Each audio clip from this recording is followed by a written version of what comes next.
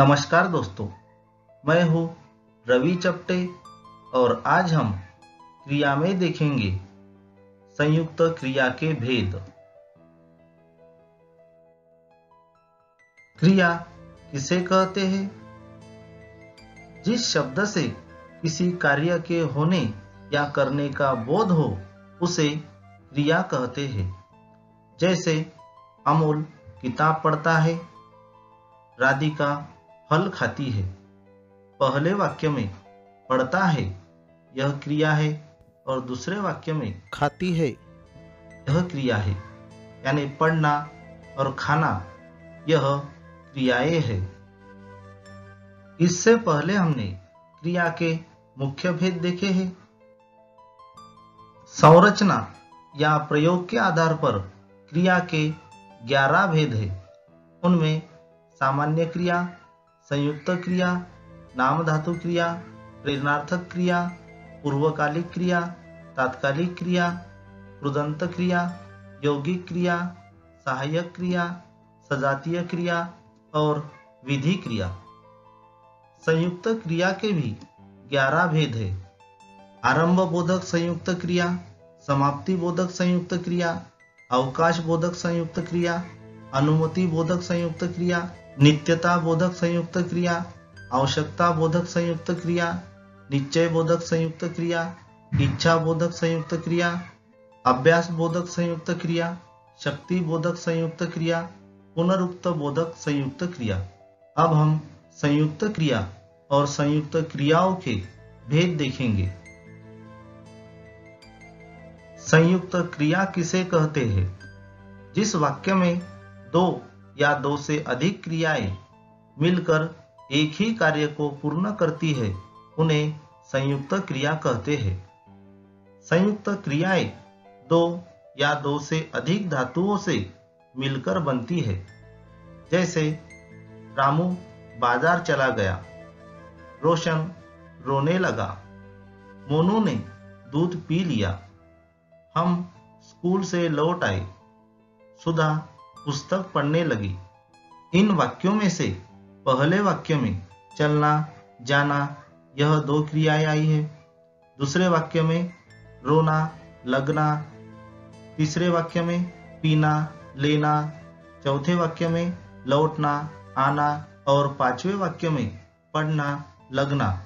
यह दो क्रियाएँ आई है।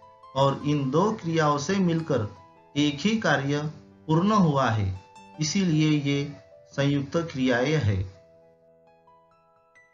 संयुक्त क्रिया के भेद। संयुक्त क्रिया का पहला भेद है आरंभ बोधक संयुक्त क्रिया। जिस संयुक्त क्रिया से क्रिया के आरंभ होने का बोध होता है, उसे आरंभ बोधक संयुक्त क्रिया कहते हैं। मुख्य क्रिया के आगे लगना यह क्रिया जोड़ने से आरंभ बोधक संयुक्त क्रिया बनती है। जैसे पानी बरसने लगा, आचल नाचने लगी, दीपक और गायत्री खेलने लगे। संयुक्त क्रिया का दूसरा भेद है समाप्ति बोधक संयुक्त क्रिया। जिस संयुक्त क्रिया से मुख्य क्रिया के समाप्ति का पता चलता है, उसे समाप्ति बोधक संयुक्त क्रिया कहते हैं। समाप्ति बोधक संयुक्त क्रिया में चुकना, यह क्रिया जोड़ी जाती है। जैसे, रघु सो चुका है। हम यह फ़िल्म देख चुके हैं। शीतल पढ़ चुकी है।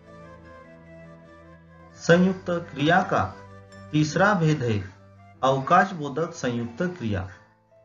जिस संयुक्त क्रिया से किसी क्रिया को निष्पन्न करने के लिए अवकाश का बोध हो, वह अवकाश बोधक संयुक्त क्रिया कहलाती है। मुख्य क्रिया के आगे पाना, यह क्रिया जोड़ने से अवकाश बोधक संयुक्त क्रियाएँ बनती है, जैसे गणेश मुश्किल से जाग पाया है, वह बड़ी मेहनत के बाद जीत पाया है। गीता बड़ी मुश्किल से खाना बना पाई है। संयुक्त क्रिया का चौथा भेद है। अनुमति बोधक संयुक्त क्रिया। जिस संयुक्त क्रिया से किसी क्रिया को करने की अनुमति दिए जाने का बोध हो उसे अनुमति बोधक संयुक्त क्रिया कहते हैं। जैसे मुझे जाने दो उसे बोलने दो। आदित्य को खेलने दो। संयुक्त क्रिया का पांचवा भेद है। नित्यता बोधक संयुक्त क्रिया। जिस संयुक्त क्रिया से किसी क्रिया के खत्म न होने का, यानी नित्यता का भाव प्रकट हो, उसे नित्यता बोधक संयुक्त क्रिया कहते हैं। मुख्य क्रिया के आगे जाना या रहना, यह क्रिया जोड़ने से नित्यता बोधक संयुक्त क्रिया बनती है। जैसे, पानी बह रहा है, विवेक चलता रहा, दीपक बढ़ता गया। संयुक्त क्रिया का छठवा भेद है आवश्यकता बोधक संयुक्त क्रिया। जिस संयुक्त क्रिया से किसी क्रिया की आवश्यकता का या कर्तव्य का पता चलता है, उसे आवश्यकता बोधक संयुक्त क्रिया कहते हैं। साधारण क्रिया के साथ पढ़ना होना अथवा चाहिए क्रियाओं को जोड़ने से आवश्यकता बोधक संयुक्त क्रियाएँ बनती है, जैसे तुम्हें स्कूल जाना चाहिए, यह काम मुझे करना पड़ता है। राष्ट्र निर्माण के लिए हमें आगे बढ़ना होगा।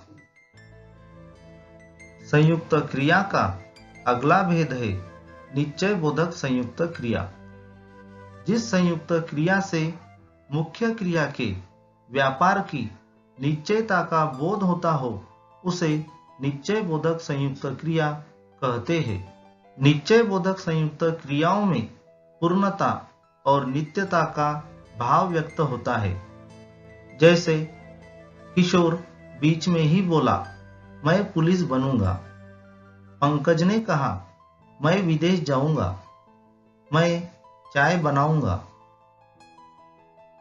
संयुक्त क्रिया का अगला भेद है इच्छा बोधक संयुक्त क्रिया।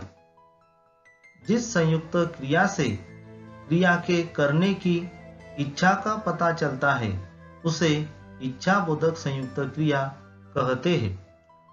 क्रिया के साधारण रूप में चाहना, यह क्रिया जोड़ने से इच्छा बोधक संयुक्त क्रियाएँ बनती है।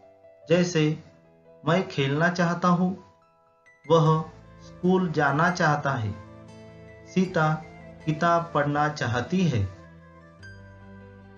संयुक्त क्रिया का नौवा भेद है अभ्यास बोधक संयुक्त क्रिया।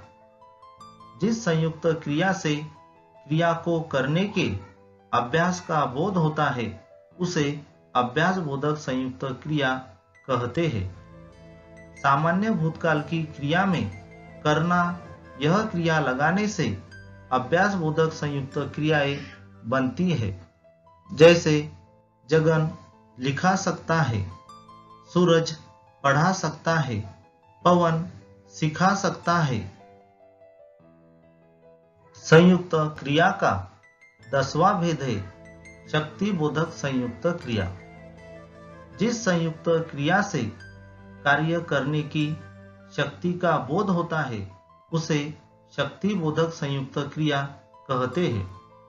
शक्ति बोधक संयुक्त क्रिया में सकना क्रिया जोड़ी जाती है। जैसे अभय दौड़ सकता है, गीता लिख सकती है, मैं देख सकता हूँ।